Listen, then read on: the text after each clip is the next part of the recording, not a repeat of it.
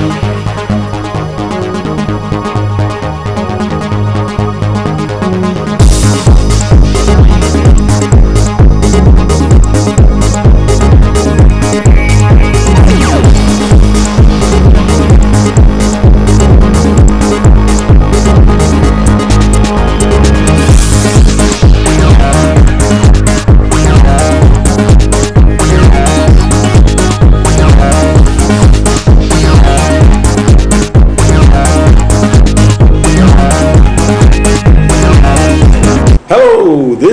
John Carrington with Eye on Baltimore, and I'm here with Mr. Roswell Encina, who is the Director of Communications for the Enoch Pratt Free Library. Mr. Encina, you have a big job, sir, and I'm gonna applaud you right now. Oh, God, well, thank you so much. I appreciate that. What are you doing to get the word out about what a wonderful place the Pratt is? the best thing is um, the Pratt Library and all libraries across the nation, we're such an easy sell. People don't realize that the that every great library, like the city of Baltimore, deserves a great library system. Um, and the Pratt Library, I'm glad, is delivering that. Um, they people, we need to remind them the resources or the free resources that's available here at the Pratt. I mean, we're not just you know concerning like the books that everybody knows that we have and the DVDs and the CDs. People know all about that. People need to realize that there's more to the library than you know what they know about that they remember since they were a kid. Dr. Hayden usually says it's not your grandmother's library anymore, but you know she's still welcome. But you know, we try to spread the word that you know there's ebooks available. You know, if you have an iPad or you have a Kindle or you have a you know a, uh, a Nook, you could download ebooks from your on your gadget and you know and download like your the, the, a Harry Potter book or whatever top seller book there is. And the best part of it is um, like after three weeks, it will just disappear from your gadget, so you'll never have to pay the fine. Or and you also could renew it from there too. So you know, we're embracing um, the future when it comes to it. You know, because the number one question we always get is, what's going to happen to the library? You know, in this era of e-books and e-readers, and instead of us, you know, staying away from it, we decided to embrace it. We've interviewed you before, sir, and you made a lot of big promises. What have you done to follow up on those promises? Well, you know, we're very proud of all the work that we've done here at the Pratt Library. You know, several years ago, it was probably like maybe 2007, the last time we spoke. Um, that's when you know it was like the dawn of social media happening, not only here in Baltimore, of course, but across the world. So since then, you know, we've been. It started off as just with, with simple email blasts that everybody receives via email. Then, you know, we're a big.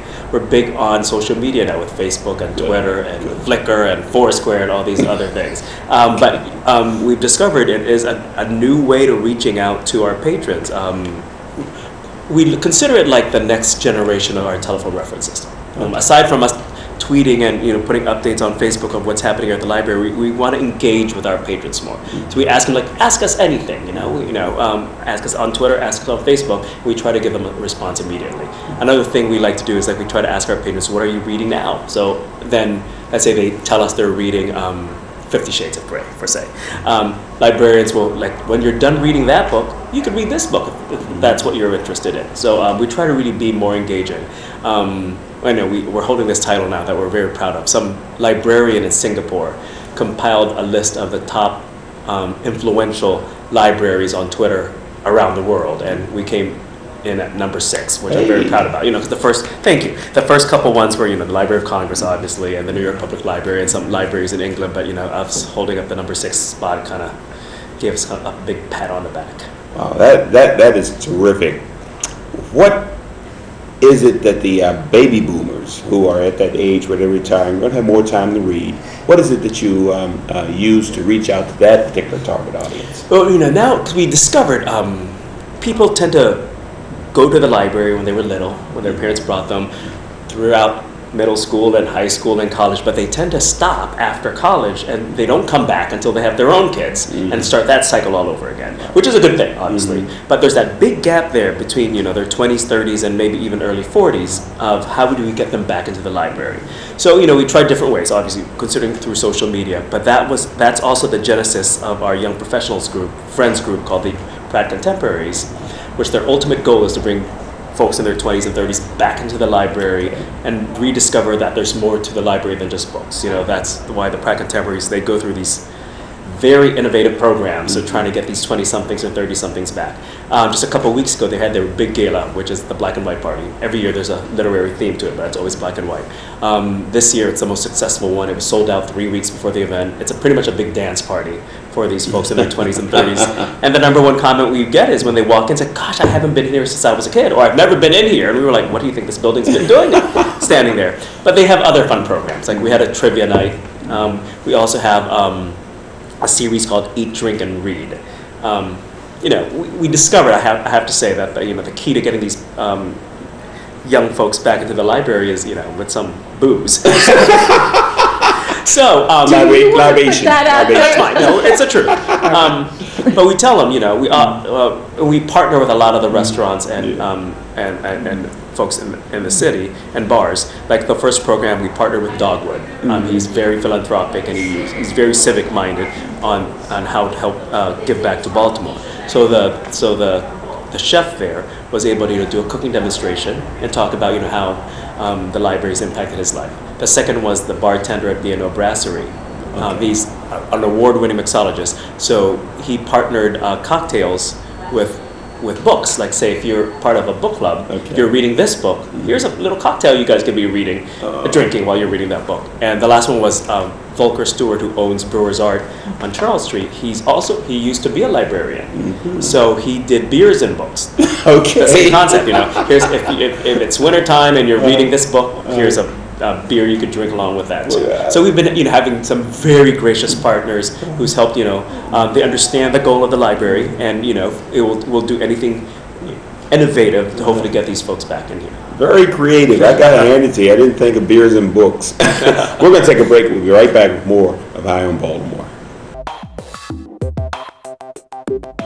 I'm nuts about downtown Baltimore's West Side. Hello, I'm John Waters, and I'm proud to say that Baltimore has always been my home. It's the inspiration behind all my films, including Hairspray, Crybaby, Serial Mom, and A Dirty Shame.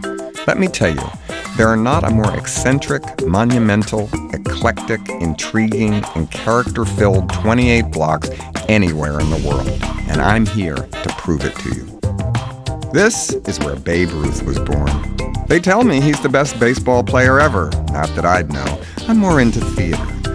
Like nearby Arena Players, the nation's longest continuously running African American community theater. I'm also a big fan of Century Old Antique Row, where New York dealers come to buy and later mark up their purchases sky high for their Manhattan buyers. On that same block sits the Eubie Blake National Jazz Institute, housing memorabilia from Baltimore jazz greats like Billie Holiday and, of course, Eubie himself. The West Side is also where the Maryland Historical Society calls home, with its many Baltimore artifacts, including the original manuscript of the Star Spangled Banner and Nipper, the RCA dog. Oh, and the National Dentistry Museum, the only one of its kind in the U.S., is where George Washington's dentures live. And no, they were never wooden. And right in the middle of it all, as if just to add mystery and intrigue, sits the gravesite of Edgar Allan Poe, my kind of guy. Sometimes I go there to meditate. Now, the thing that defines Baltimore for many people around the world is right here also our sports franchises, the Orioles and the Ravens, two birds that nest in the West. The Walters Art Museum is also known internationally, featuring an interactive experience exploring 55 centuries of art. A man named Gustav Krug worked at an ironworks foundry on Saratoga Street on the west side way back in 1810, and it's still a working ironworks foundry today. Sixth generation Krugs still work here. In Baltimore, we find a good place, we like to stick with it. Now, contrast that with one of the world's most advanced operating room facilities just a couple blocks away at the University of Maryland Medical System. Get ill, get fixed, have an operation in high style. Know of a place where the Beatles, Al Roker, Mother Teresa, and P.T. Barnum all hung out? I'll tell you, the west side of downtown Baltimore. Al Roker? He's done live shows at the world famous Lexington Market, where you can shuck oysters and see some of the most amazing hairdos in town. Beatles, Pavarotti, U2, you name them. They have played what used to be called the Civic Center, but is now called the First Mariner Arena. Aren't we grand? Mother Teresa, the Pope, and many presidents have all visited the Basilica of the Assumption, the first Roman Catholic cathedral in the United States.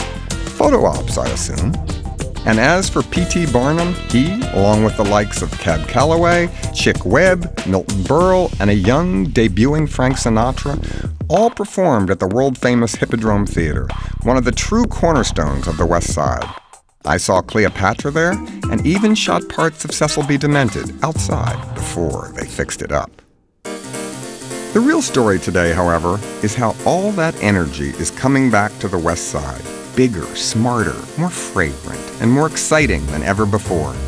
Major traveling Broadway shows like Phantom of the Opera and Disney's The Lion King, as well as events such as Russell Simmons' Def Poetry Jam and local community events, now perform in Baltimore for the first time thanks to the Hippodrome Theater at the France-Merrick Performing Arts Center.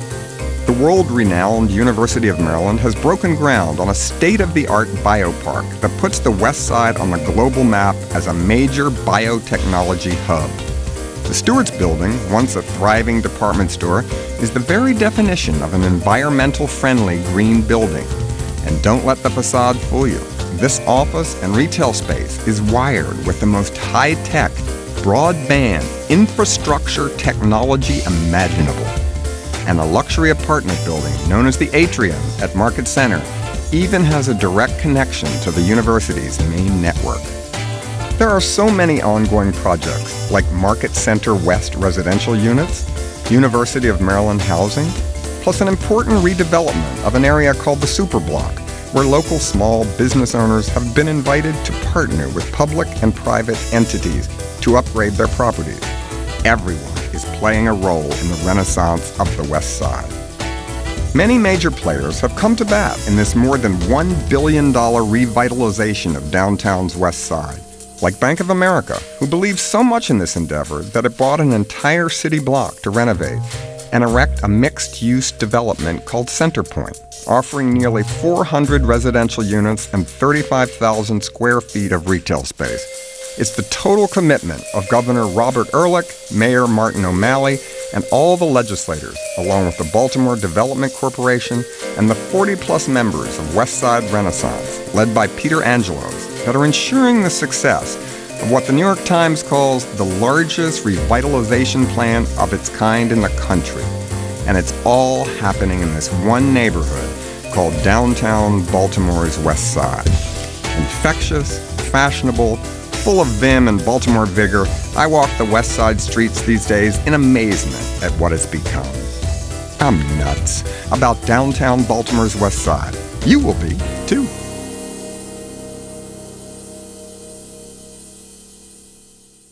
I'm John Carrington, and I'm talking to Mr. Uh, Roswell Encina, and he's Director of Communications for the Enoch Pratt Library.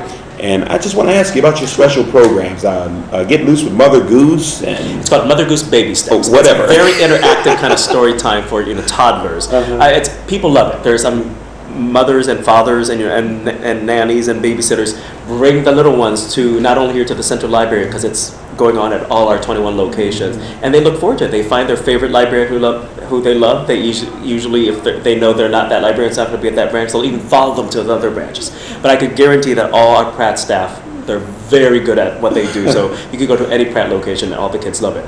As for teens, um, it's amazing, and I still discover this of the programs that we um, have for teens. You know, we have the usual teen programs, you know, like you know storytelling, but there, we have more innovative ones, like you know, we the the video game. We have we went we we have we Wednesdays at certain branches where you know we invite the kids to come over. You know, it's better to play in a safe environment like a library, and they can play the video game, you know, the Wii game. And we have other fun little programs for teens, like from acting workshops to songwriting workshops, and they're all free. And that we couldn't stress that enough. all righty. Uh, any other special programs? Do you have anything for uh, baby boomers? Oh yes, you know, I'm a, and not that I'm saying that baby boomers are aging, but you know, we do have a lot of programs. You know, that 'cause that is the number one question we do get is like how, how, how anything about health related issues, from diabetes obviously to to um, to heart disease. But you know, we have those available for them. We have a special partnership with health department and other um, nonprofits and other institutions in, in the city that helps them, you know, maneuver through these little issues. And you know, it's tax season as well. We partnered with Baltimore Cash, who helps folks who are actually at the, at the central library regularly to help people with their taxes for free as well. All right, what is your most popular service? Um, I believe, you know, right now, Yeah. it's the computers. Um, Oh. If you see, and it's not only here at the Central Library, go to any branch, there are a line of people waiting to rush in to get on the computer system. It's very sobering. Um, we re- somebody, uh, there was a study done several years ago, and it, it, it said something like between 30 and 40 percent of Baltimorean, Baltimoreans um, have no computer access at home. I mean, when most of us can, you know, just whip out our phone or whip out our tablets, um, can check our email that way, there's still a huge part of the population of the city that still depend on the Pratt Library just to check email, just to check their, you know, Facebook status update. Um, so we're glad that, you know, to help, we're here to help them on that. Um, it's amazing to see how many people still walk in and, you know, the, the simple task of just checking their email, they have to come to the library for. Well, that's vital. I mean, uh, what the median income for Baltimore City is fifty-six thousand dollars, and um, actually, actually, actually, the um, the average uh, income for Baltimore City is about fifty-six thousand, but the median in- income, where Yeah. the average person falls, is about thirty-six thousand. So the money's not there, the resources are not there to maybe have the home computing. And we're glad, you know, that we're here that we could help them. You know, they don't have to come to the Central Library. They could go to our Pennsylvania Avenue branch or our Clifton branch. They all have these. Um, you know, and one thing is, especially when you're applying for a job nowadays, most of them, you know, you have to do it online. Um, so from you know from McDonald's to McDonald Douglas, you actually have to come and do it on a computer. But if you don't have a computer at home, what do you do? So we encourage them to come here, and not only will we provide you with a computer, obviously, but we'll provide you with staff members that could help you. Like if you have questions on how to type up your resume, they're there. Well, if somebody uh, needed access to a computer, uh, there is a number on the screen Definitely. that can be used for that purpose. They can call that number, or you know, check out our website at prattlibrary.org. All right, please repeat that. Um, it's just www.prattlibrary.org. It will have all the information about the Pratt Library, including you know locations and times. Okay, so if you need information, you can call the number that's on the screen or go on the website and you'll get the uh, extra information to help you to gain access to the computers at the Enoch Pratt Library. I- I'm curious, uh, you look like you're from Baltimore, but again, there's always that chance that you're not. Tell us a little bit about yourself. Well, Virginia's home, but I consider you know Baltimore as my adopted home now. Um, I'm very proud of the city of Baltimore and the state of Maryland. Everything is we love it so much now. You know, I'm rooting for the for the Ravens and the Orioles. Like uh, actually during the Super Bowl, um, the Pratt Library and the San Francisco Public Library, we had a Sam, uh, Super Bowl bet. Um, like whoever won, they had to uh, do something. So this is what we decided on. If the Ravens won, the which we did obviously, the city librarian or their their director um, had to wear a Ravens jersey and recite the Raven in the atrium of their main in their main library. So they were very gracious. They were very good sports about it. They did. Not only did he do it in the Ravens jersey, he read the Raven. Then staff members started coming in before um, it was all said and done. There were probably like 20 of them. They were reciting the, po- the Raven along with them. So they were really good sports.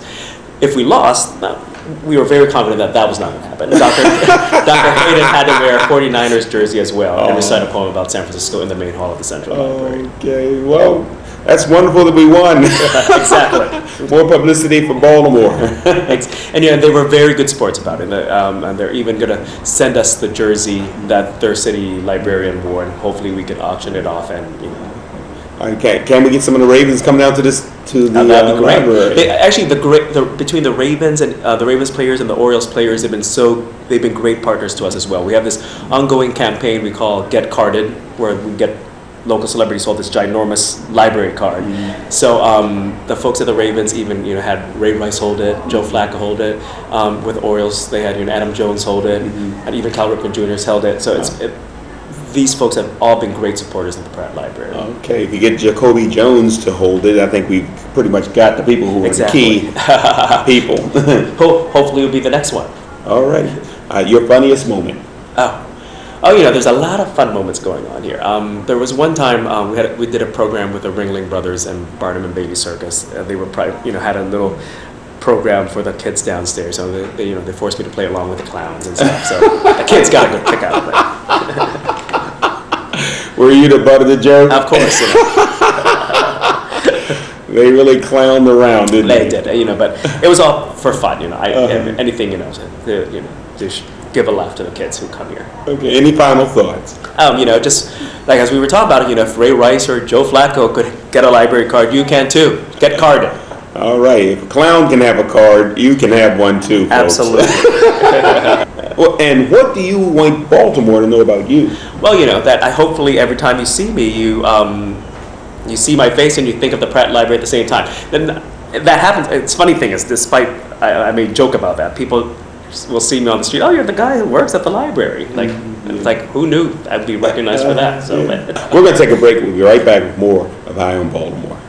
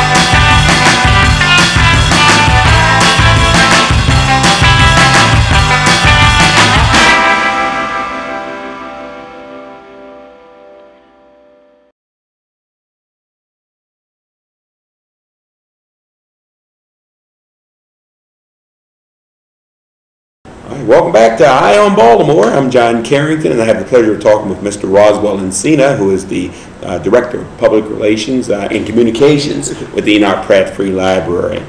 Uh, Mr. Encina, uh, you have uh, some snail mail that you still send out. Uh, you have a monthly newsletter. Uh, talk about that. It's called our Compass. Um, it comes out every two months. Uh, it pretty much highlights all the programs coming to the Pratt Library. So it tells you, you know when our Writers Live series are, our adult programming, our children's programming, our teen programming. So people still get that in the mail. If you have a library card, you should be receiving one. But you know we, we, we respect that you know people want to be more paperless. So we're telling folks if you want to opt out of that, you could get an email version of it, or know, we'll send you a downloadable version that you could just you know check out online. But it's been very beneficial. I mean, we've gone through we've gone through so many of our kind of ways of trying to promote the library, and I think um, even back in the day when the Central Library you know was built in the early 30s, promotion was already kind of like the number one um, kind of objective. If you notice, if you walk into the Central Library, we have those Cathedral Street windows, which look like department store windows. Um, and that was the point of it, you know, try to promote what's happening at the library, try to promote, you know,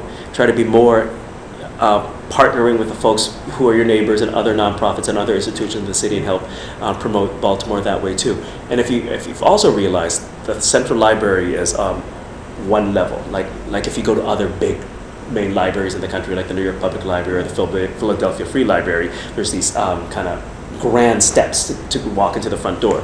The purpose of this library, uh, the central library, to make sure it's on the first level, so it's, it feels more inviting. So it's not mm-hmm. intimidating for the for the average person to be like, I don't want to walk in there because I've got you know, they don't want to be so intimidated by the you know the knowledge and the mm-hmm. intellect in it. But when our ultimate goal is to get people in and you know use us and all the resources that's available for them.